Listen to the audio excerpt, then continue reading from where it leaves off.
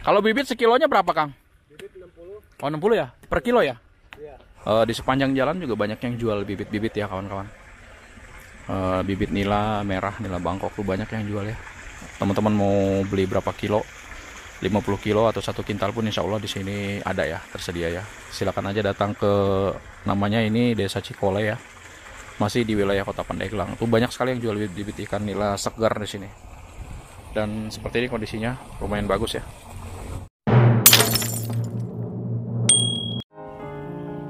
Pada video kali ini kami ingin mengajak teman-teman pecinta bioplok atau yang sedang belajar membudidayakan ikan air tawar dengan metode bioplok mengunjungi sebuah kafe dan restoran. Uniknya nih kawan-kawan, di mana salah satu menu pada restoran ini adalah ikan nila, di mana ikan nila tersebut dibudidayakan dengan metode bioplok dan pembudidayaannya juga ada di lokasi restoran ini.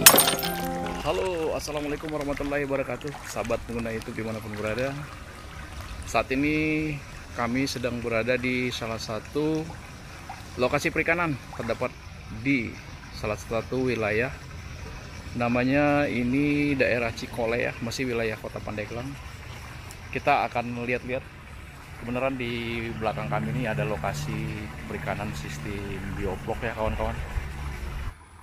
Nah kawan-kawan semuanya ini adalah kolam bibit ya jadi nampaknya ini adalah lokasi pembesaran bibit ya di sini.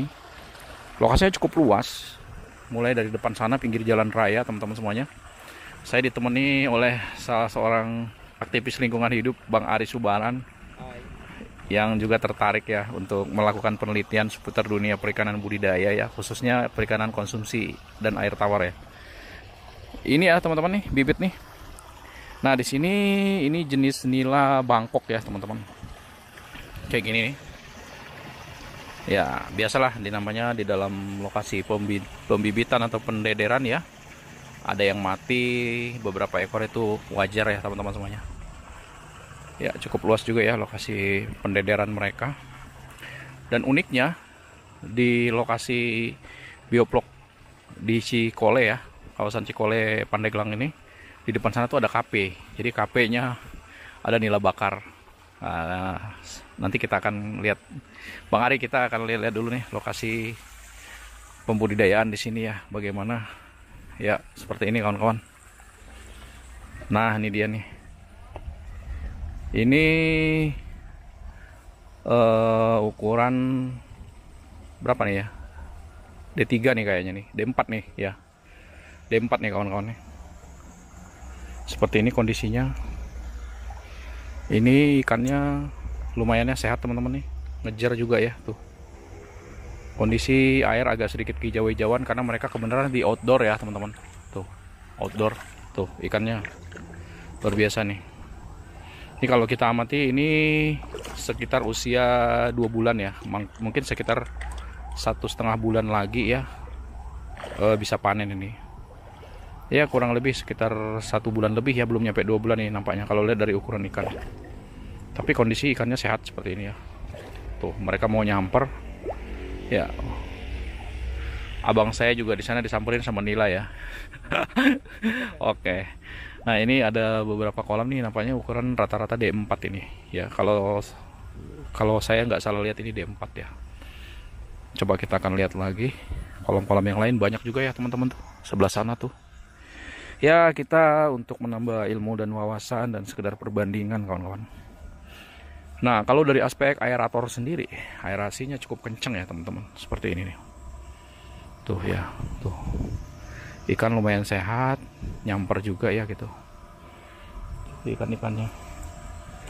Nah ini nampaknya ini ini pakan ini kawan-kawan ya. Gitu ini pakannya gitu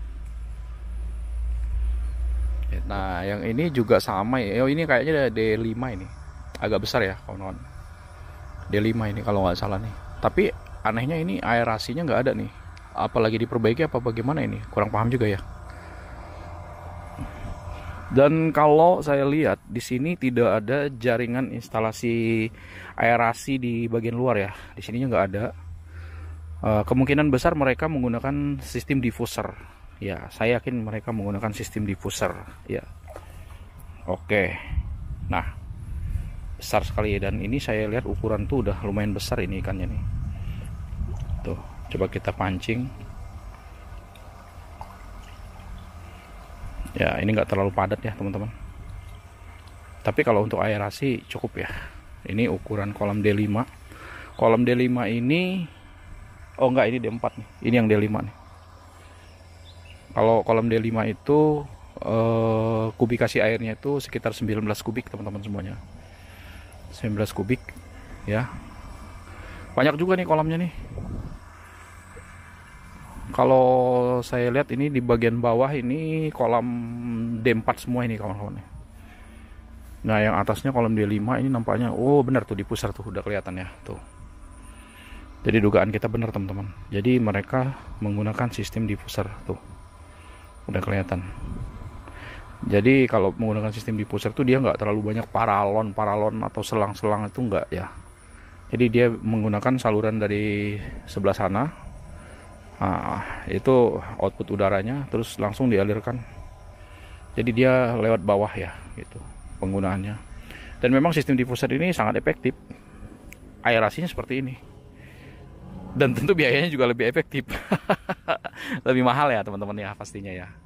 Karena satu buah diffuser itu eh, harganya tuh di atas 200 ribu ya kalau yang bagus ya. Tapi memang ada juga diffuser diffuser yang harganya cuman eh, 70 ribu 100 ribu. Eh, kadang-kadang airnya tuh nggak efektif. Jadi gelembungnya itu nggak nggak halus gitu ya. Jadi seperti brek-brek gitu ya. Gitu. Nah kalau yang halus seperti ini insya Allah bagus ya. Oke kita lihat-lihat lagi ya teman-teman. Nah ini dia nih. Jaringan di pusarnya seperti ini nih. Ayo tuh. Ya seperti ini. Instalasinya dan bagian tengah itu adalah bagian pembuangan. Dan udara disalurkan langsung melalui uh, output udara dari sana. Coba kita lihat lebih dekat teman-teman semuanya nah ini nih udara disalurkan dari sini nih ya. Ya ini. Nah ini keran nih. Ini kalau kita buka ini nih tuh masih bergetar nih. Kalau kita buka keluarnya udara dari sini. Ya gitu. Tapi kita nggak buka ya gitu loh. Tadi udah izin dengan yang jaga mau lihat-lihat kemari alhamdulillah dikasih boleh ya. Walaupun uh, yang punya sedang sibuk barangkali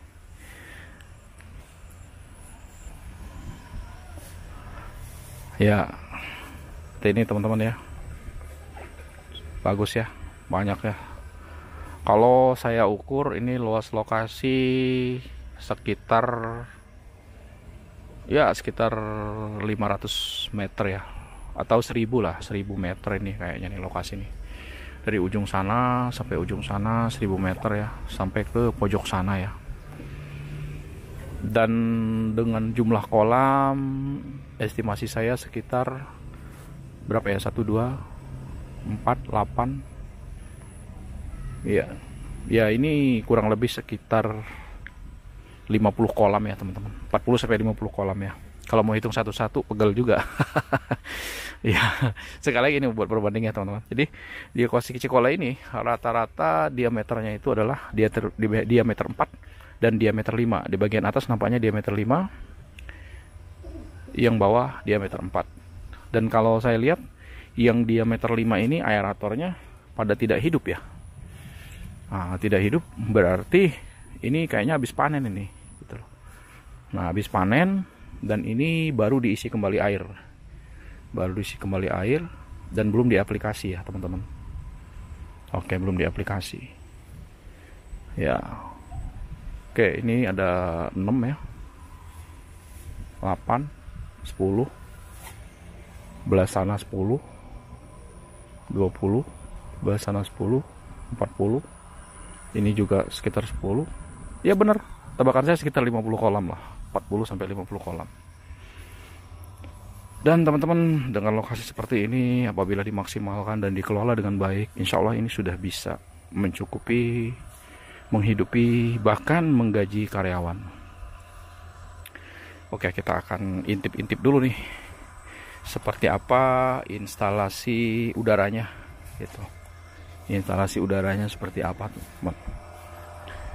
nah ini adalah gubuk gubuk ini adalah untuk menyimpan instalasi udara atau aeratornya. Jadi supercharge yang mereka gunakan. Kita akan lihat-lihat dulu ya. Mohon izin bagi yang punya lokasi kami intip-intip lokasinya. Nah ini dia nih kawan-kawan. Di sini saya lihat ada tiga mesin supercharge tuh. Ini yang 3 HP ya teman-teman. Yang 3 HP nih. Ini 3 HP ya tapi dari ketiga mesin supercharge ini yang dihidupkan hanya satu ya. Ini kayaknya yang sama yang 3 HP juga ya. Gitu loh. Yang dihidupkan cuma satu. Ya mungkin yang dua buat cadangan atau bisa jadi karena dalam perbaikan ya gitu. Dan tentunya ini sudah ada inverternya. Inverter. Dan sudah terhubung juga dengan yang namanya uh, apa ya alarm. Alarm ya. Uh, alarm sehingga apa pada saat mati lampu maka alarm akan berbunyi. Sehingga walaupun penjaganya sedang tertidur mereka akan bangun. Ini bibitnya per kilonya 60.000 nih kawan-kawan. Kalau mau beli boleh nih ke Cikole nih datang nih. Per kilonya 60.000 dan isinya satu kilonya itu isi uh, katanya ada yang 60 80 ya. 60 80 ekor nih. Bibit kualitas kondisi bibit lumayan segar dan banyak cukup banyak tuh di sebelah sana ya bibitnya. Kalau ini cuman ini aja nih yang udah dikerambahin nih ya. Yang udah dikerambahin. Banyak nih bibit nih sebelah sana nih. Kondisi mantap. Nah ini biobloknya tempat pembesarannya nih ada nih. Biobloknya ada berapa kolam nih kak? Oh 42 berarti tebakan saya tadi nggak meleset. Antara 40 sampai 50 ternyata 42 oke. Oke kawan-kawan. Demikian video singkat dari kami. Kalau mau beli bibit boleh ya di sini. Daerah Cikole Pandeglang insya Allah.